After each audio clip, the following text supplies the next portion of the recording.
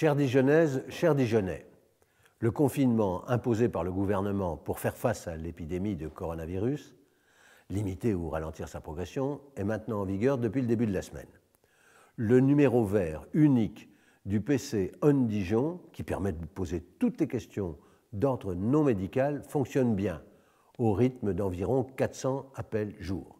Je vous le rappelle, c'est le 0800 21 3000 et il fonctionne 24 heures sur 24 et 7 jours sur 7. Je vous ai détaillé dans mon précédent message, que vous pouvez d'ailleurs trouver sur nos réseaux sociaux et notre site internet, toutes les mesures prises par la ville pour faire face avec le personnel municipal, avec le personnel des entreprises de délégation de services publics et les concessionnaires de réseau. Notre gestion de crise est maintenant opérationnelle. Je vous appelais mardi à la responsabilité et au civisme. Je maintiens fermement cet appel, mais j'y ajoute aujourd'hui la bienveillance et la patience. C'est en effet un bien curieux printemps que nous nous apprêtons à vivre, puisqu'il est maintenant plus que probable que ce confinement aura vocation à durer au-delà des deux semaines initialement annoncées. Les Dijonais, dans leur immense majorité, respectent les consignes. Cependant, je dois vous le dire, trop nombreux encore, certains bravent les interdits, sans aucun doute par inconscience ou mauvaise appréhension du danger. En temps de confinement, vous ne pouvez pas continuer à vous promener en groupe, comme si de rien n'était, sur le quai des Carrières Blanches, par exemple, ou autour du lac Kyr. Les sorties doivent être courtes, à proximité du domicile, seul ou accompagné, bien sûr, de son conjoint ou de ses enfants, en respectant la distance nécessaire entre les promeneurs. À la demande de la préfecture, je suis contraint de prendre un arrêté d'interdiction de promenade autour du lac Kyr, qui concernera tous les promeneurs et coureurs, à l'exception de ceux qui résident dans un rayon de 500 mètres. À ce sujet, pour ma part, je souhaite que le gouvernement soit plus précis dans sa communication.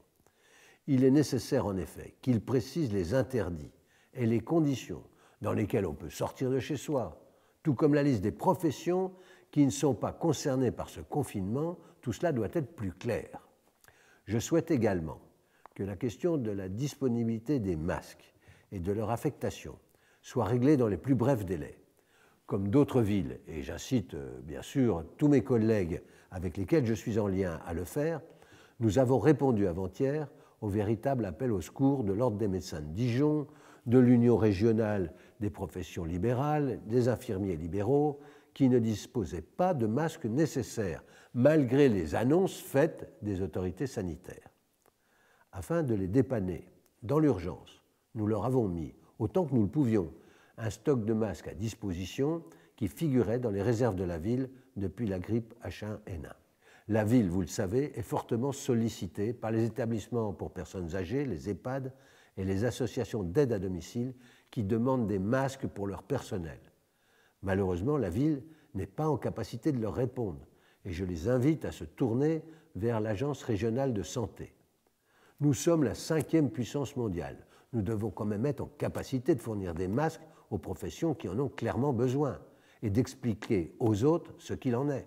Pour ma part, côté métropole, j'ai lancé un appel aux entreprises du pôle économique santé pour leur demander de tout mettre en œuvre pour produire du gel hydroalcoolique et des masques. Je sais que plusieurs l'ont déjà fait. Ils se mettent à disposition du CHU et de l'ARS, et je les remercie. Nous avons la chance d'avoir à Dijon ce pôle santé autour de BF Care. Je reviens à la ville et à vos messages reçus au PC On Dijon pour apporter quelques précisions sur les questions qui sont les plus fréquemment posées. Les demandes de personnel isolé ont augmenté de manière significative. Par exemple, comment se procurer un exemplaire papier des dérogations de sortie? Comment obtenir de l'aide à les imprimer ou à les remplir? Comment réparer sa machine à laver si elle tombe en panne? Beaucoup euh, de personnes ressentent le besoin de rompre la solitude et d'être rassurées. C'est pourquoi j'ai demandé à plusieurs de mes adjointes et adjoints de se mobiliser pour que toutes les personnes qui ont besoin d'être rassurées puissent l'être par un appel téléphonique régulier en plus bien sûr du dispositif dit canicule qui fonctionne pour toutes les personnes isolées, appelées deux fois par semaine. La prise en charge des enfants du personnel soignant est bien assurée. Ils sont finalement assez peu nombreux, car la plupart des soignants s'organisent avec un conjoint ou un proche. Les enfants sont regroupés dans quatre établissements scolaires Montmusard, Montchapet, Coteau du Suzon et l'Allemand. Nous sommes prêts pour l'accueil des enfants le week-end si nécessaire. J'ai su hier, par la directrice départementale des services académiques, que les enseignants volontaires pour assurer le week-end, si nécessaire, sont nombreux. Je voudrais saluer leur dévouement exemplaire. Nous sommes également énormément sollicités pour l'accueil des enfants des personnes qui sont contraintes de travailler. Et je pense à elles, par exemple dans les commerces alimentaires, dans les sociétés de logistique ou de gestion de l'eau. Non, c'est aujourd'hui impossible. Nous ne sommes pas autorisés par l'État à accueillir dans les écoles ou en périscolaire les enfants autres que ceux des personnels soignants et médico-sociaux. Vous êtes nombreux également à vous étonner du maintien de l'ouverture des halles. À ce sujet, ni à aucun autre d'ailleurs. Nul besoin d'employer un vocabulaire, excessif, ni d'être injurieux sur les réseaux sociaux.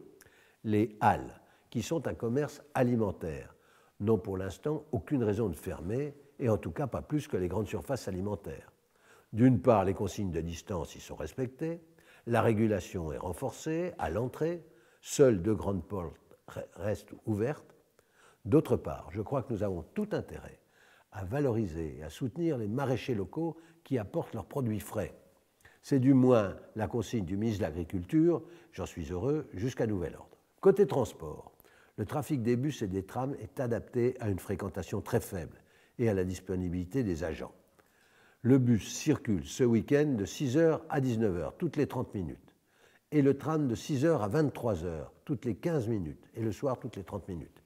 Les services pourront par ailleurs être adaptés aux besoins spécifiques du CHU. Sortie des poubelles.